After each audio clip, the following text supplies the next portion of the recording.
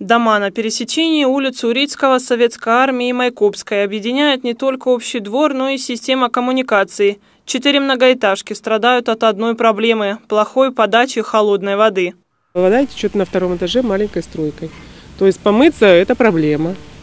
Ванны очень холодно, вообще батареи ледяные.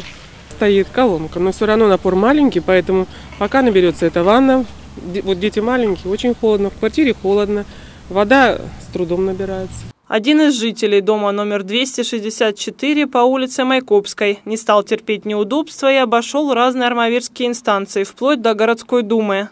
После его заявления депутаты обратились за разъяснением в управлении жилищно-коммунального хозяйства. В ответном письме специалисты пояснили, что для нормализации подачи воды необходима замена подводящих трубопроводов. В Курганинском групповом водопроводе подтвердили, что ремонт необходим.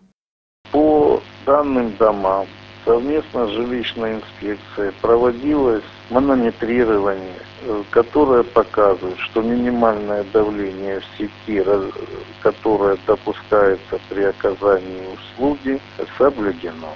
Действительно, давление невысокое, и необходимо менять подводящие сети с увеличением диаметра.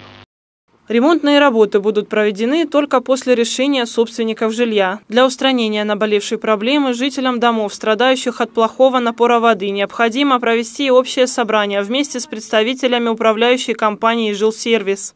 Инна Лепеткина, Евгений Холманских, служба информации, телеканал РНТВ «Армавир».